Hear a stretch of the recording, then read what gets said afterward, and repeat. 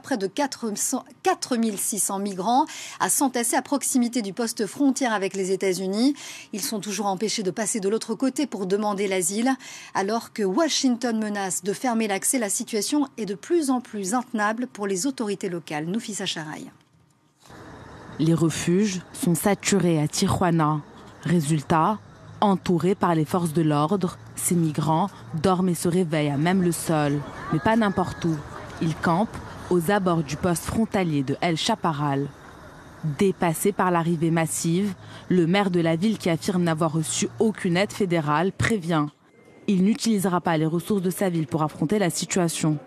Il va plus loin et déclare l'état de crise humanitaire à Tijuana.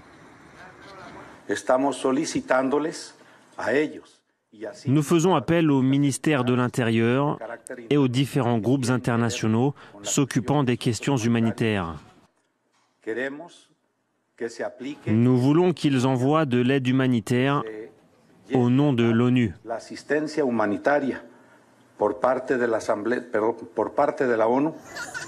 Près de 6000 migrants se trouvent dans l'état de Basse-Californie à la frontière américaine.